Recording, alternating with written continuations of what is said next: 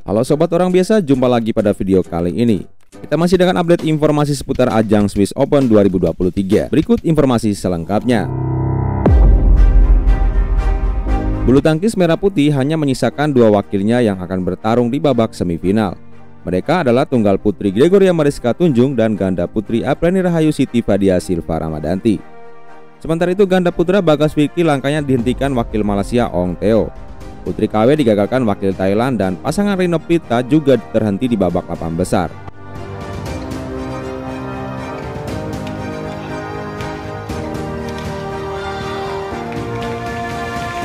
Pada video kali ini, admin ingin menyoroti jalannya pertandingan ganda putri yang mempertemukan pasangan Apri Siti menghadapi wakil Tiongkok Li Yijing Luo Xinmin. Bermain sebagai pembuka di lapangan 3, Apreni City berhasil menyingkirkan wakil Tiongkok itu dalam pertarungan dua game langsung dengan skor 22-20 dan 21-15.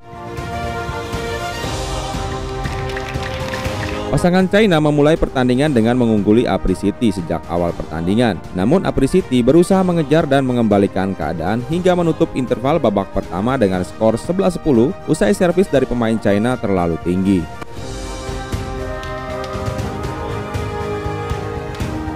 Selepas jeda interval, pasangan Tiongkok mencoba bangkit, kemudian mengembalikan keadaan dengan skor 14-12.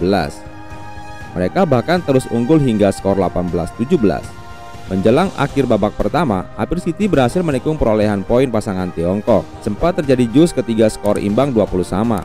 Namun pada akhirnya Dominion Wati menyudahi perlawanan Jing dan Luo dengan skor 22-20.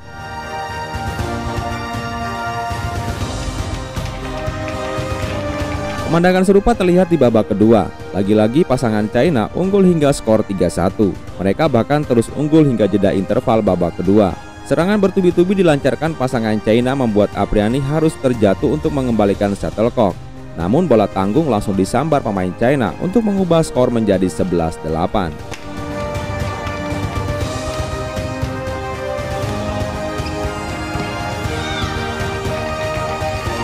Selepas jeda interval, Apri City mencoba bangkit. Mereka terus mengejar ketertinggalan poin untuk mengembalikan keadaan. Mereka bahkan berhasil membuat match point dengan skor 20-13. Laga pun akhirnya menjadi milik pasangan Indonesia usai sebuah kesalahan dari pemain China membuat skor menjadi 21-15 untuk Apri City.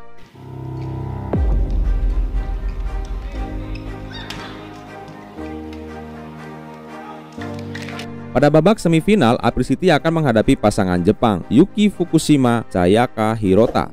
Secara head to head kedua pasangan belum pernah bertemu. Itu artinya Swiss Open menjadi pertemuan pertama mereka. Hmm, menarik untuk dinantikan. Tentunya doa yang terbaik buat Apri dan City. Semoga lanjut ke babak final dan juga bisa mendapatkan gelar di Swiss Open 2023. Kalau menurut teman-teman, seberapa besar peluang Apri dan City? Mampukah mereka mengatasi pasangan Jepang?